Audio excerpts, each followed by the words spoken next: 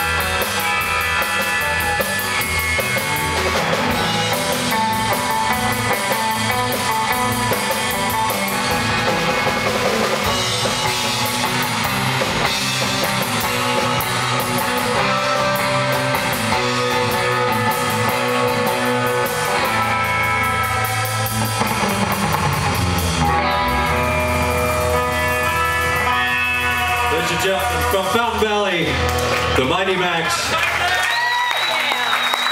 Thank you, Max.